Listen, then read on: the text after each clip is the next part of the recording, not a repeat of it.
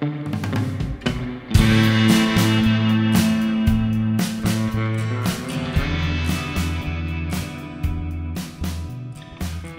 domingo 10 de marzo es el Día del Patrimonio de Nuevo León.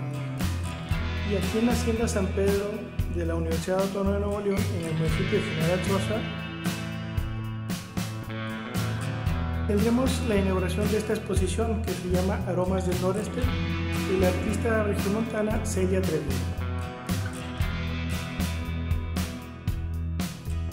En esta serie de cuadros vemos paisajes, bodegones, flores silvestres, frutos que nos encontramos aquí en el noreste.